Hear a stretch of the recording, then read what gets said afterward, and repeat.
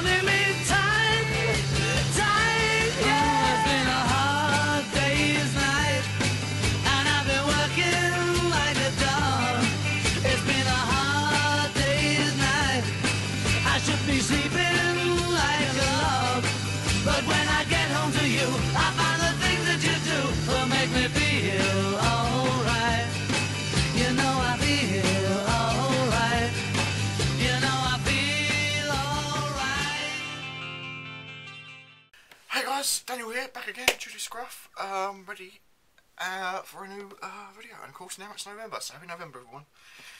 So first I want to say this video is probably going to be quite short today, um, just haven't really thought, haven't really got much to think of, just, you know, to either tell you guys or show you guys. But uh, I've got a few things. First of all, Halloween, um, yeah, it's gone obviously, um, I liked Sabrina's the video, I thought that was funny. Um, but, you know, Halloween isn't really something I celebrate, to be honest. It's not one of my favourite holidays.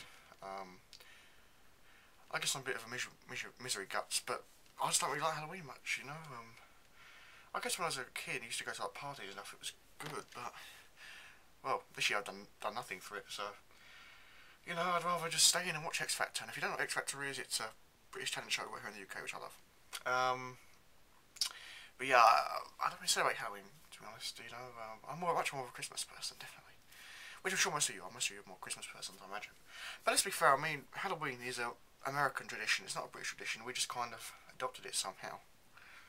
Uh, so yeah. Um, whereas Christmas is everyone's tradition, kind of. So, or Christians. So, you know, I, I'm just not really Halloween celebrating person. But good for you, all of you that are. Um, now last Thursday I went to Bluewater Shopping Centre, which is not far from me. It's about a 30 minute, 40 minute drive from me.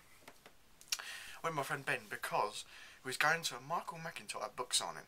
Um, now he's one of the most popular comedians we've got here in the UK. And, um, maybe I'll post something. I know it's not Beatles, but I'll post something below of his Michael McIntyre if you want to look it up because he is just hilarious. You know, he's just so funny.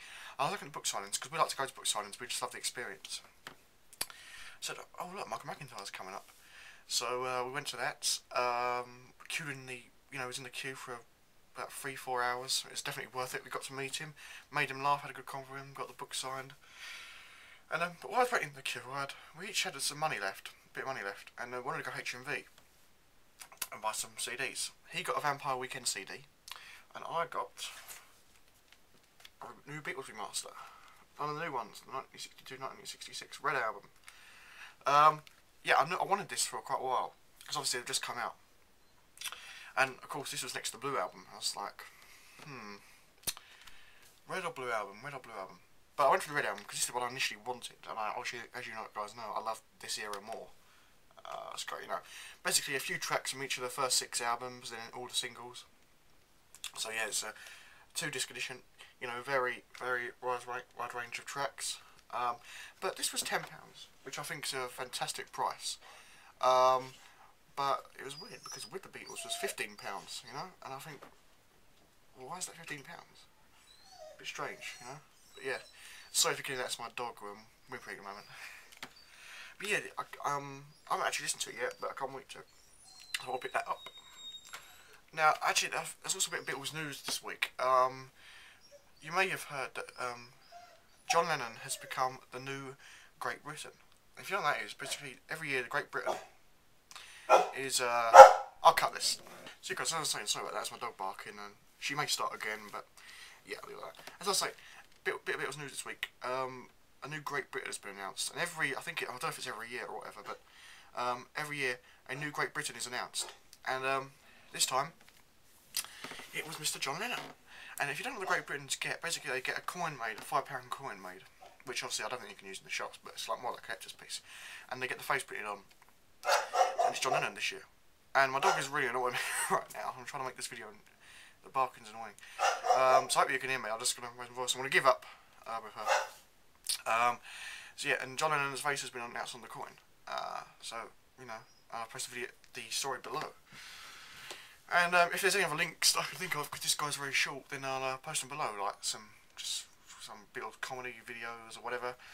Uh, so yeah, I hope you guys enjoyed your Halloween and um, have a safe November. Let's start a great new month. And love. See you next week.